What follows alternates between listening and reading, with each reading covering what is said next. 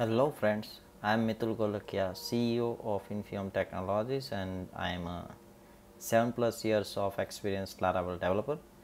Welcome to the very first video of video series named Laravel tips that I am going to start where I am going to show you uh, some various tips about Laravel which I am using in various projects.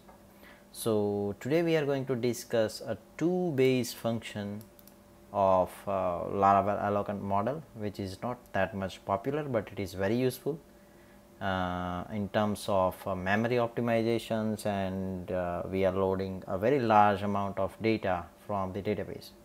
So as a PHP developer we all know that we face memory issues a lot when we are loading a large data set from database into the memory right uh, for example if we are going to print some pdf and we need to you know render a lot of data or we are doing some bulk operation where chunking is not possible or there can be a lot of cases like that.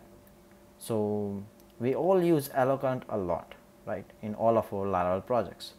And they are super easy and a very handful to use when we want to retrieve any data from the database. So you write some model you create some model and just write like model name colon colon all and it's done. So it will give you all the records from the database. And um, when we write a code like uh, model name colon colon all right it's not actually returning us a records from the database but it is returning the objects of the model like our laravel model. So for laravel when you load say like 10,000 records from the database it will take a bit time to prepare all these models from the records that it have or it has retrieved from the database. So uh, you know it is not just a pure std class but it is a model class the laravel model class. Let's see it in action. So i have the screen over here and let's go to the welcome controller so in my web.php what I did is like it's just like home controller and index. Uh, if I go here I have very basic setup view which comes with the Laravel by default. So what we will do over here is uh, we will say like users is equal to user all right? And what I have is in my database in users table I have approx 50,000 records so we will not retrieve all the records right now but we will just say like retrieve or we will say uh, limit 10 and then we will say like get. And what we will do for just like a quick testing we will do dd and if you go here now and we refresh this page so if we see it is actually the model of user object like our user model object. It is not the pure data that is retrieved from the database right? So yeah. And uh, let's try to print this record now. Remove this dd i will go to the welcome page.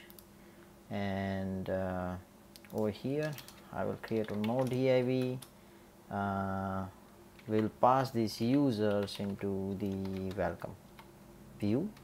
Say users. Say users and then over here I will say like for each users as user I will end for each. And let's just space as it is. Say like user name right? Let's see what it is printing now yeah so it is almost printing this all the names from the database. If you see over here uh, it is retrieving 10 models. So yeah. Now let's increase these 10 users to say 10,000 okay. So let's get here 10,000 I will put uh, some break statements here and it will not be that much pretty but let's try to print it and if you see uh, it is not a pretty good layout but that is not our intention so if you see it is taking 37 MB of RAM and previously with 10 records it was just taking 20 MB right. So we are now preparing 10,000 models. So of course and the time it is taking is almost like to 1.5 seconds to return the view. So the memory is increased I will say to like 2x when we go for you know like preparing all the models. So uh, if you can consider like if you are loading so much data and even if you see like if user have any relationship and if you are loading all those data what will be the impact on the memory right so here is where the toBase functions come to help us right so what i will do over here before this limit i will just add toBase function. And now let's try to print it again. So if you see oops sorry. Yeah if you see the memory is reduced to 29 MB right? So it is 8 MB of decrease and the, there is a significant improvement in the request time as well. So previously it was one and half second now it is less than half second and we are still getting all the results. So let's see what it is actually doing. So for that what I will do I will just decrease it again to 10 and let's try to print the users. And now if you print over here it is returning the 10 results. But if you see it is not now the user object. It is just a pure row data right? So it is just giving us all the records just in pure just like we are doing a database query. So yeah this is how we can use toBase function to save the memory. And instead of preparing all the user model we can just retrieve the whole data. Now i i know that like the question you might have will be like so why we should use Eloquent at all right? Or when to use Eloquent and when use toBase function so the answer to that question is like you know Eloquent is really great when you are using its features like retrieving relationships at runtime or you know updating a record deleting a record or you are using using muted attribute or something like that. So, whatever features Eloquent is providing if you are going to use that then you should use Eloquent or if you are loading a small amount of data into memory right. But if you are not going to use these all functions and if you just want pure raw data or if you are loading too much data into memory uh, the toBase function will be really useful. So yeah that's it for today's video.